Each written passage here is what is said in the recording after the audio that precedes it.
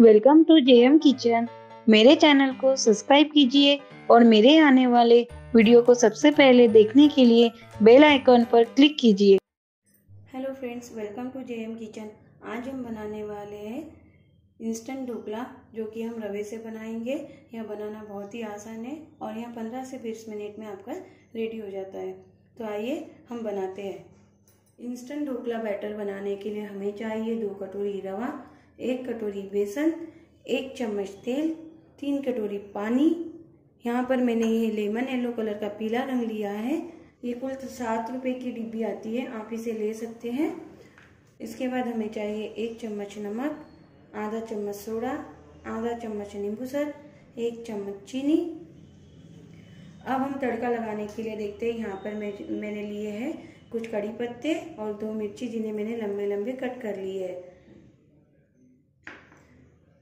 और यहाँ मैंने लिया है राई और तिल्ली गार्निशिंग के लिए हमें लिया है यहाँ पर धनिया पत्ता। आइए हम ढोकला बैटर रेडी करते हैं। ढोकला बैटर रेडी करने के लिए हमने एक यहाँ पर बड़ा सा बाउल लिया है। अब हम इस बाउल में लेंगे तीन कटोरी पानी। आपको जो कटोरी आपने पानी के लिए यूज़ की है, वही कटोरी से आपको यहाँ पर रवा और बेसन लेना है। मीन्स आपको सेम कटोरी ही यूज़ करना है, रवा, बेसन और पानी के लिए, तभी आपके ढोकला जो है वो सही बनेगा। तो मैं यहाँ पर तीन कटोरी पानी लेती हूँ।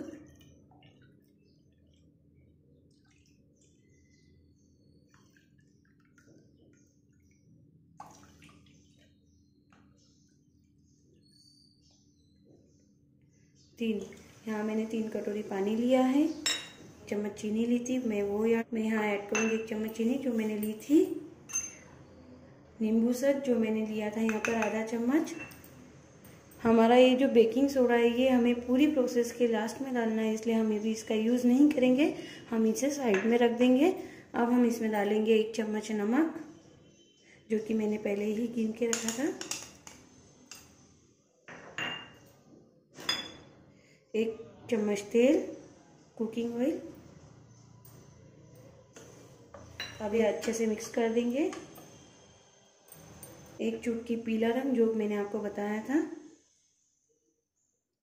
इससे ढोकले में बहुत ही अच्छा कलर आता है। अब हम इन सब सामग्री को मिक्स कर देंगे।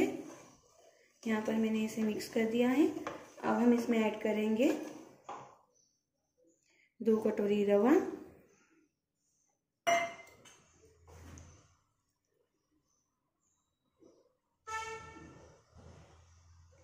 और एक कटोरी बेसन। अब हमें इसे अच्छी तरह मिक्स कर लेना है। लम्स नहीं रहने चाहिए, एकदम बैटर सॉफ्ट होना चाहिए। तब तक कि हमें इसे मिक्स करना है। अच्छे से फेंट लेना है ताकि हमें हमारा जो बैटर है एकदम सॉफ्ट हो जाए। इससे हमारे ढोकले बहुत ही अच्छे बनेंगे। जितना अच्छा हमारा बैटर होगा, उतने अच्छे हमारे ढोकले सॉफ्ट बनेंगे।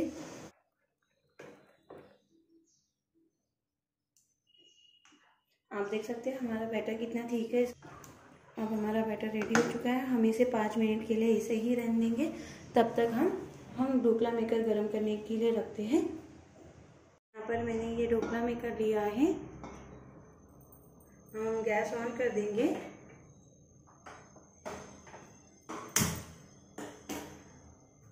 इसमें डालेंगे तीन ग्लास पानी।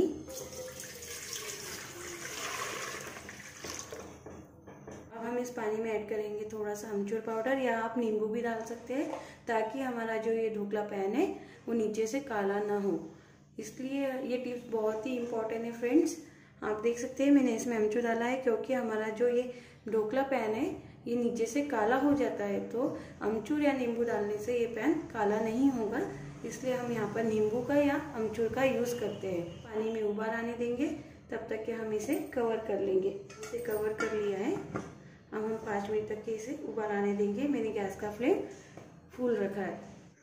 अब हमारा पानी गर्म होगा, तब तक के हम ये जो ढोकला प्लेट से इसमें ऑयल लगा लेंगे। पूरा ऑयल अच्छी तरह लगा लेंगे ताकि हमारे ढोकले जो है वो प्लेट में चिपके नहीं। इसलिए मैं यहाँ पर इसे ऑयल लगा रही हूँ।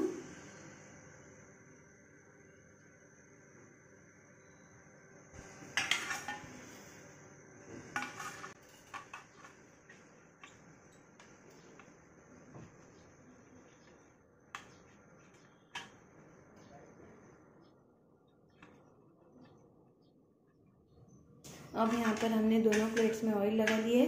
अब हम चलेंगे हमारे बैटर की तरफ़, जो कि हमने सेट होने के लिए रखा था। आप देख सकते हैं, यहाँ पर हमारा बैटर बहुत अच्छे से सेट हो गया है। अब हम इसमें ऐड करेंगे, जो हमने सोडा यूज़ नहीं किया था, वो हम यहाँ पर यूज़ करेंगे।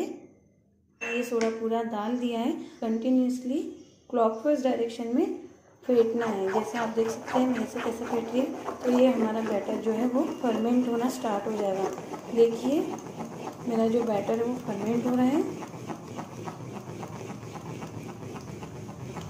इसे कंटिन्यू दो से तीन मिनट आपको फेंटना है।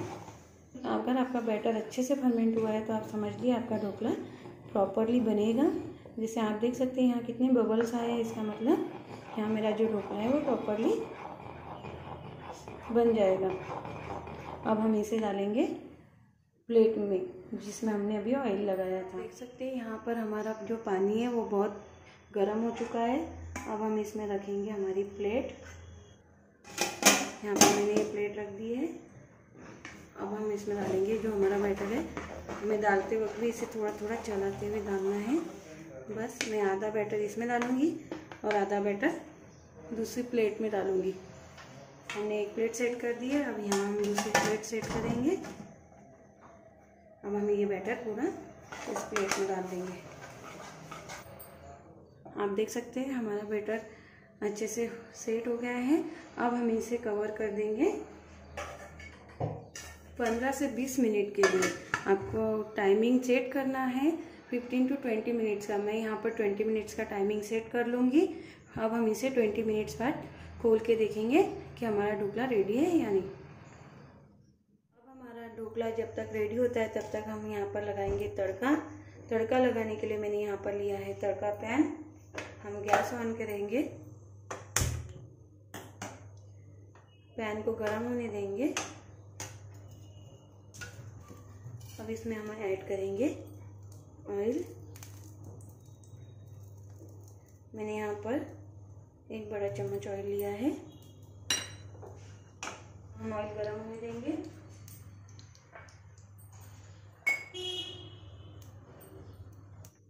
यहाँ पर हमारा तेल जो है वो गर्म हो चुका है। अब हम इसमें डालेंगे तिली और राई। थोड़ा थोड़ा देख कर यूज़ करना ये जो राई तिल्ली है, वो आम जाने का डर होता है। अब हम इसमें डालेंगे कड़ी पत्ता और हरी मिर्च। अब हम गैस को दो मिनट के लिए तेज आँच पे रखेंगे और फिर बंद कर देंगे। ताकि हमारा जो छोक है वो जल ना जाए। आप देख सकते हैं यहाँ पर हमारा तड़का रेडी हो गया है। अब हम रेडी करेंगे चीनी का पानी जो कि हम ढोकले में ऊपर से डालेंगे जिससे हमारे ढोकले का स्वाद और भी टेस्टी हो जाएगा। तो चीनी का पानी बनाने के लिए हमें चाहिए थोड़ा सा पानी जो कि मैं यहाँ ले रही हूँ। मैंने यहाँ पर दो से तीन चम्मच पानी लिया है। अब हम इसमें डालेंगे एक चम्मच चीनी। और हम इसे अभी अच्छी तरह मिक्स कर देंगे। इसे हम पाँच मिनट के लिए मिक्स करके ऐसे रख देंगे तो ये जो चीनी है, ये मेल्ट हो जाएगी और हमारा चीनी का पानी रेडी हो जाएगा। यहाँ पर हमारा चीनी का पानी रेडी हो गया है। यहाँ हमारा तड़का रेडी हो गया है। हमें इन दोनों को ढोकले के ऊपर डालना है। हमें 20 मिनट हो गए हैं। 20 मिनट बाद में मैंने हमारी ढोकला प्लेट निकाली है। आप देख सकते हैं, हमारा ढोकला जो है वो रेडी हो चुका है। अब हम इसे छोटे छोटे पीसेस में कट कर लेंगे।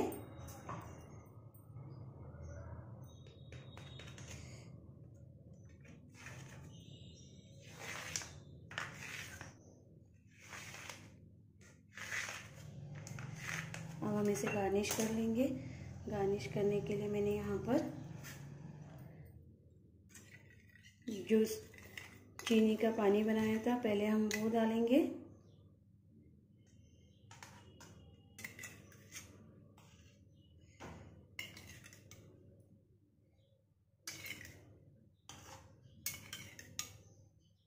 आपको इसे अच्छी तरह सभी ढोकलों में डालना है। अब हम इसमें डालेंगे जो तड़का हमने बनाया था वो।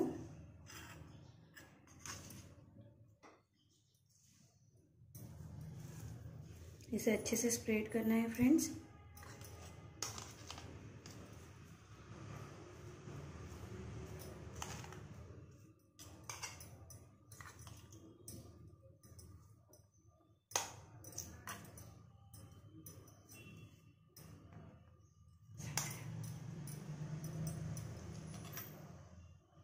अब हम इसमें डालेंगे धनिया पत्ती, जो कि हमारा लास्ट इंग्रेडिएंट है। आप देख सकते हैं, हमारा ढोकला खाने में बहुत ही स्वादिष्ट दिख रहा है। अब आप हम इसे प्लेटिंग कर लेते हैं। पर मैंने इसे प्लेटिंग कर ली है। अगर आपको मेरा वीडियो पसंद आया है तो मेरे वीडियो को लाइक शेयर और सब्सक्राइब करना ना भूलें। Thank you for watching my video